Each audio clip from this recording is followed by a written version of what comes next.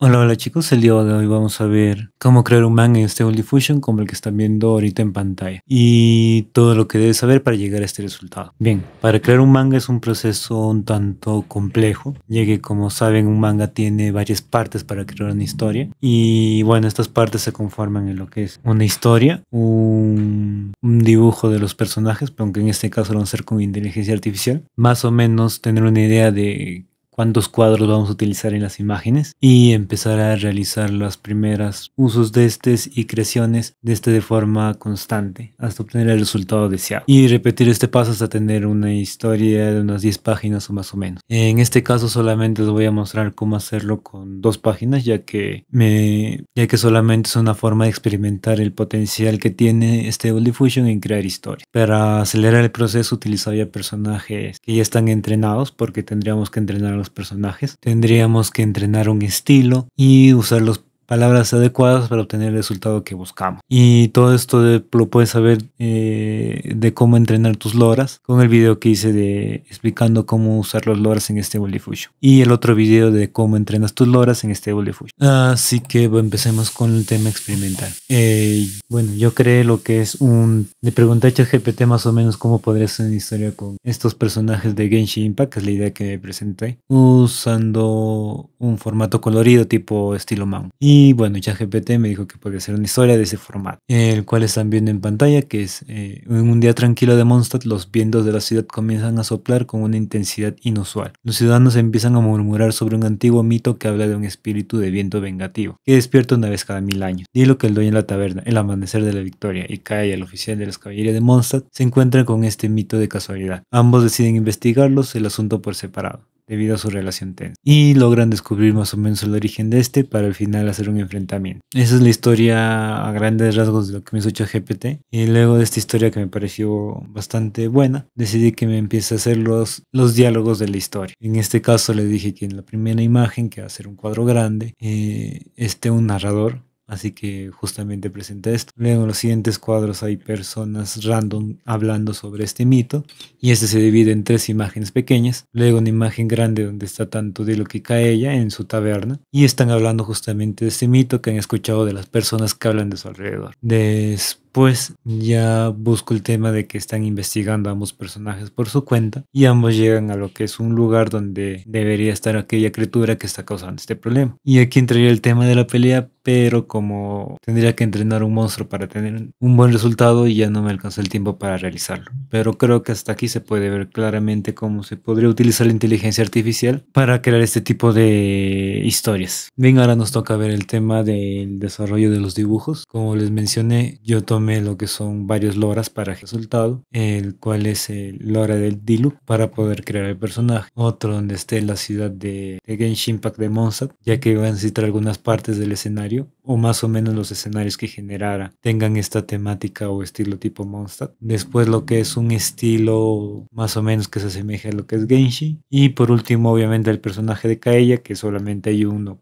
que han entrenado. Y es el único que tuve que adecuarme para utilizar. Si se quiere tener un buen resultado, se tendría que hacer un entrenamiento de cada uno o tal vez crear un propio modelo, ya no solamente un LoRa, sino un modelo, para poder generar este tipo de historias. Y ahora, si quisiéramos generar algo en blanco y negro el estilo manga, tendríamos que usar otro Lora y ya no el Lora de los estilos de tipo Genshi, sino un Lora del estilo manga para poder generar ese tono blanco y negro. Aunque como los personajes no están bien adaptados a sus estilos, puede haber dificultades en realizarlos en este color blanco y negro, como algunos resultados que estuve obteniendo cuando, entrené, cuando intenté generar imágenes con Dilo. Luego de ello tuve que generar lo que son control nets para obtener más o menos la posición de los personajes que deseaba, bien sea como varias personas caminando aleatoriamente en la ciudad, o Diluc y Kaella conversando tranquilamente en el bar, o Kaella haciendo su investigación, o Diluc haciendo una pelea y llegando al lugar indicado. Luego de hacer estos control net tuve que hacer algunas pruebas de prom, ya que generar todo esto de golpe o generarlo y hacer el escalado lleva bastante tiempo. Y no es conveniente estar probando prompts en ese tipo de ocasiones, sino ya cuando ya lo has testeado de una forma correcta. Bien, ahora nos toca ver el tema del cómo instalar Talent Diffusion para poder aprovecharlo para creación de mangas. En este caso me voy a ir a extensiones, voy a irme a disponibles. Una vez cargado y quitado el check de instale, ahora sí busco lo que es el Talent By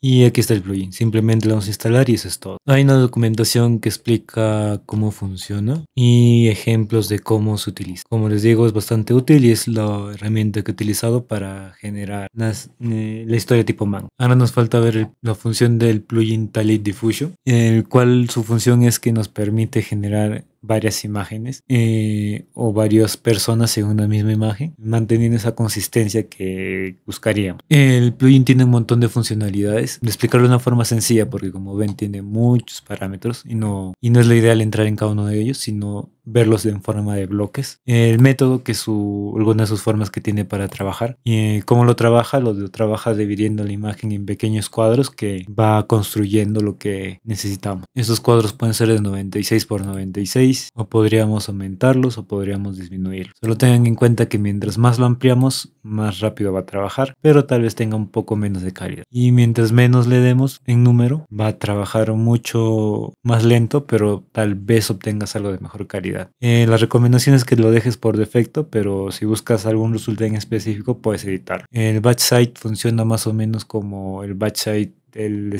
del Stable Diffusion normal. Y Latent Tile Overlap, mm, no estoy seguro, pero creo que tiene relación con el width y el height. Luego de haber armado este pequeño divisiones de cuadros, tienes que activar lo que es un region prompt control. Y si en caso están haciendo con una imagen en blanco, pueden hacer el drag full canvas background, el cual les va a insertar una imagen completamente en blanco. Pero en este caso ya tengo mi imagen preparada que justamente Diluc peleando o mostrando su poder y otro está viendo una montaña o una Estas configuraciones se pueden guardar y los voy a mostrar un poquito más adelante porque los guardo. Así que vamos primero con las regiones. Las regiones son justamente un área en donde se va a hacer el dibujo. En este resultado de acá es porque el cuadro rojo es en donde se trabajó. Este cuadro se puede achicar o ampliar y se puede mover. En este caso lo he colocado acá porque es un escenario o es la parte de un escenario. El tipo foreground es, mm, se recomienda utilizar más con personajes y el background con lo que son fondos. Pero se puede trabajar tranquilamente con cualquiera de los opciones. Eh, la excepción es que el background es un poquito más fuerte en los, en los cambios de estilo o lo que se le pide. Y el foreground se integra mejor con varios imágenes colocadas así. Por ejemplo, digamos que acá va a estar otra persona, podría insertarlo acá y con el foreground va a ser una integración un poco más eh, acorde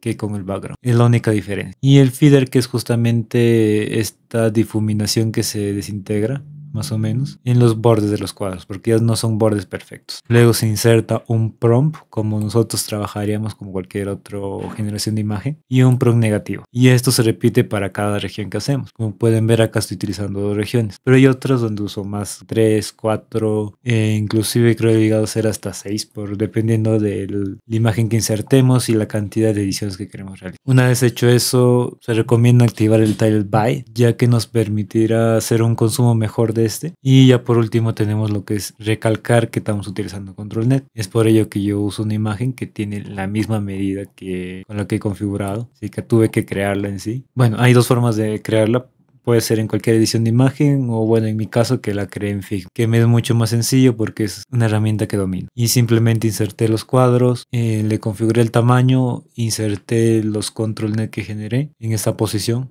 ¿Y cómo generé esa posición? Bueno, busqué imágenes relacionadas con ellas. En este caso de Diluc busqué imágenes donde esté un hombre en la montaña o un hombre viendo encima, viendo en la cima. Y en el otro busqué una persona peleando contra un monstruo y con espada. Una vez obtenido la imagen, simplemente la arrastré. Una vez arrastrada, di la opción de Open Pause y una vez dada la opción Open Pause, le di este simbolito para que me genere una preview, la cual la descargué y luego la junté con las otras. Luego esto ya es opcional, el control net is more important y reset Y bueno, eso es básicamente el uso que se le da a Tile Diffusion explicado con cada punto qué función sirve para cada opción. Y estos son los resultados que al final me quedé con el que me pareció más interesante, que es esta imagen y les y la moví a image to image. Una vez movido a image to image, que mejora la calidad. Eh, lo que están viendo acá es justamente la imagen con mejor calidad y esta es la imagen base. Y como hago eso es usando justamente igual el Tile Diffusion. Ya saben más o menos cómo son todas las opciones. Lo único es que nos permite agregar un upscaler, lo cual nos permite mejorar la calidad de esta imagen. Y algunas opciones más, las cuales sean más incisivas en modificar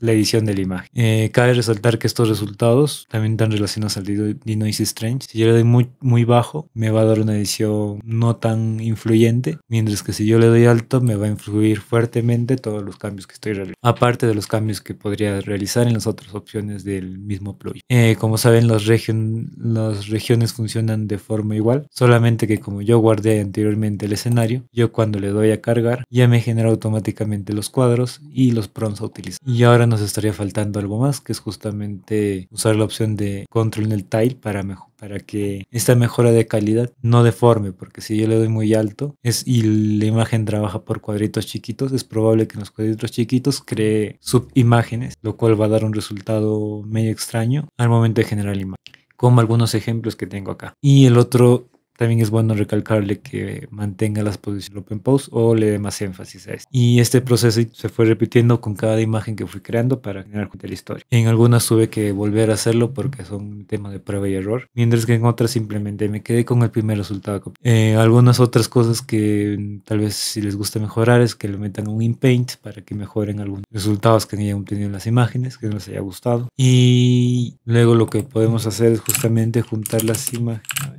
Bien, luego lo que podemos hacer es justamente usar una página como esta o usar cualquier editor de fotos para insertar las imágenes en un cuadro y luego crear la historia. En este caso voy a crear la historia de la segunda parte para que vean cómo es más o menos sencillo utilizarlo con esta aplicación que han creado algunos desarrolladores. Aquí veo que son dos imágenes lo que utilizo, así que voy a utilizar esta opción para dividir y voy a arrastrar en cada una de estas imágenes. Sé que este es un poquito más largo, lo voy a hacer así y luego voy a arrastrar esta imagen para que solamente se vea, aparte que luego este lo voy a ver más y lo voy a enfocar solamente en la otra área. Y bien, ya tenía el primer escenario, lo mismo hago acá, simplemente voy a arrastrar los estes y el mismo paso se repite. Y bueno, así de forma más o menos sencilla se arma lo que es una página. De... Ahora yo cuando quiero crear este algún diálogo, simplemente arrastro esto acá y me genera el diálogo. Luego hago clic en el punto de acá para tenerlo de forma de forma horizontal el texto en vez de vertical y voy copiando los diálogos que tengo.